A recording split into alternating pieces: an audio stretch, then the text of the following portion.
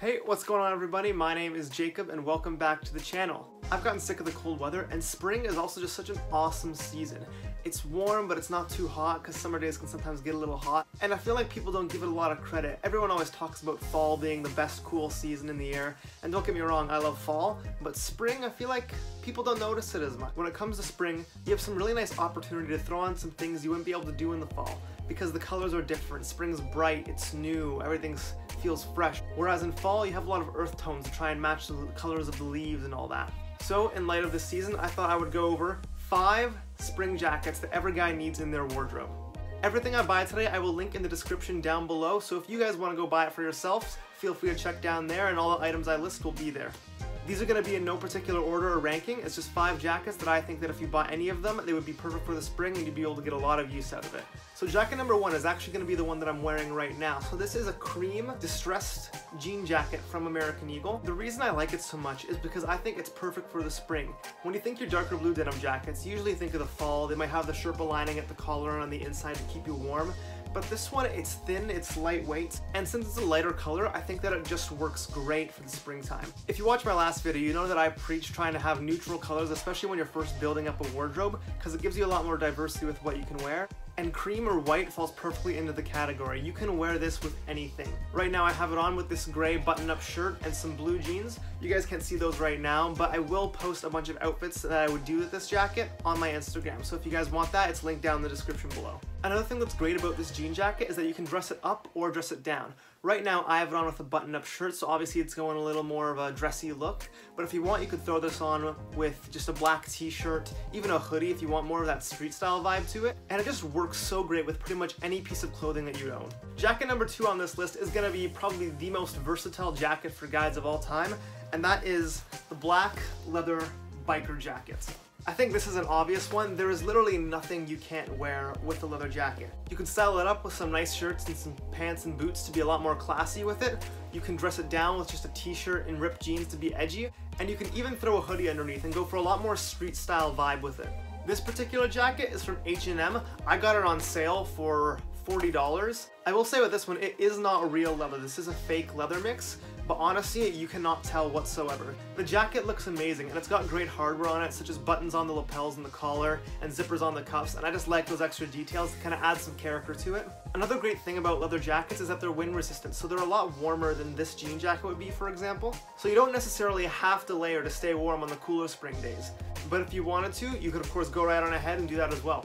Overall though, leather jackets are one of the best spring jackets you can buy because they're timeless and they'll never go out of style. You can wear it for years to come with anything and it'll look good every single time because it's a staple for men's wardrobe and won't go out of style like a lot of trends do nowadays. Jacket number three on this list is one that I know is super popular with a bunch of dudes right now and that is gonna be a bomber jacket. Personally, I think bomber jackets are the perfect starting jacket for you to buy if you're just getting into style in men's fashion. Bomber jackets are super casual. So for guys worried about sticking out or drawing more attention to themselves when they're first starting out building their wardrobe, it's a super great way to start off your collection if say a leather jacket is too dressed up for you and you don't want to go there yet. Bomber jackets are also great pieces for street style. So if that's more your vibe and that's what you're going for is a more streetwear trendy look, I'd say a bomber jacket is the perfect way to start that off. I'll link the one that I own in the description down below. It's super nice quality and it'll keep you warmer on the cooler days, but it's also not too hot that when the weather starts to warm up even more, you're not gonna be boiling in it. It's the perfect balance in between both and that's why I'd say it makes an amazing spring jacket. Another option you can go with if you want to be a bit dressier than a nylon bomber jacket but aren't ready to go for a leather jacket yet, is you can get a leather or suede bomber jacket. Personally, I find this to be a great hybrid between a leather jacket and a bomber jacket because that's what it is but it's a great option if you're not ready to go for a leather jacket yet and you just want to elevate your style a little bit more without going too out there. Number four for spring jackets that every guy should own isn't actually a jacket. For this one, I'm actually going to say vests. Now, this one is a bit trendier, but the reason I say that is because there's so many different styles of vests where some vests you can dress them up to look preppier, kind of like what I like to do with my style, or other vests like puffer vests for example, look great with a streetwear look. The reason these are great for spring is because they provide a bit of extra warmth to your torso and in your body, but you can let your arms free since vests are sleeveless so you don't get too hot. Like I said before, there is tons of styles of vests. There's quilted styles if you want to go preppier, and then there's utility vests, which I'll show in the picture for those who don't know what they are. This is a super trendy look right now. I'd say it's probably the biggest men's fashion trend for spring of 2021. So if you guys want to try one of those out, I don't personally own them, but I'll still link some in the description down below. Jacket number five is for my ultra stylish dudes out there. And this one is actually gonna be a blazer. This is probably the dressiest one out of the bunch, but if you can pull it off, you just look so classy. Blazers are great because they're lightweight for the spring weather, but you're also not gonna be too cold because it is still a jacket, so you're not gonna be too cold on cooler days. I think a blazer is a great piece when you're really trying to bring up your style. Blazers are naturally gonna be a lot dressier, but they do have more versatility than you think. A popular look that a lot of guys are doing right now is throwing a t-shirt or a hoodie under the blazer just to bring it down a little bit.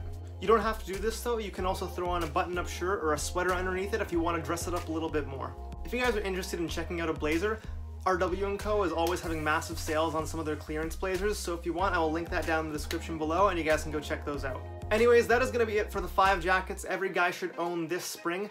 If you guys liked the video, don't forget to like it, and comment down below which jacket was your favorite and how you would style it. I do respond to comments and I'd love to see what you guys think, so if you do that, it would be greatly appreciated. Anyways, thanks again for watching. Stay classy.